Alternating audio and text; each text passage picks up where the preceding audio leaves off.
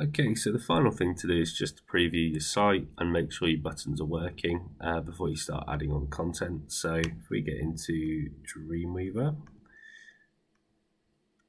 Okay, so there's a couple of ways to do this. Um, one of them, you can just go down to the bottom right here uh, where it says preview and click on that and you can select how you want to preview the site.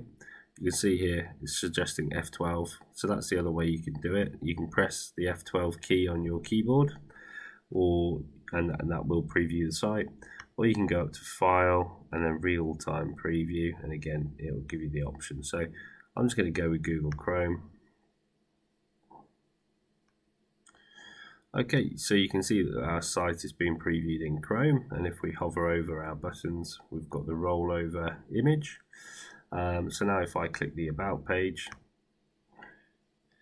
it'll go to the About page, Shop, and you can see the names up here uh, that we selected, so Sweet Shop About, Sweet Shop Contact, Sweet Shop Sweets, um, this one's called Sweet Shop Shop. Um, not very imaginative, but uh, yeah, it does the job.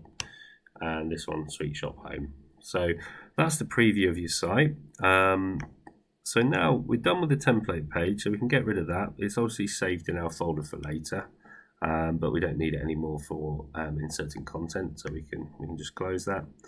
Um, if you want to say, for example, insert an image, you might click on this uh, row here, go to insert, um, go to image. You might want to put another table in so that you can edit things again within uh, a specific structure. Um, but there's some more videos for you to watch um, about doing stuff like inserting data capture form. Um, there's a PowerPoint for inserting a quiz.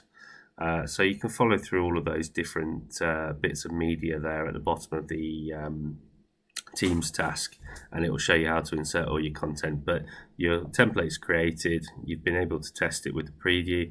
If it's not working, then you may need to uh, go back and edit some of the, um, the links. So you can see over here in the file structure, each of your web pages are there with the saved name.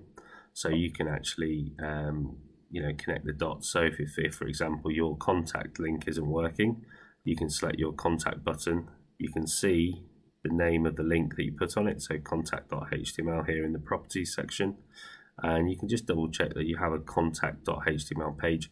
If you made a spelling error or something like that, then obviously just rectify either the uh, name of the uh, web page or change the name of the link and uh, that'll fix your issue.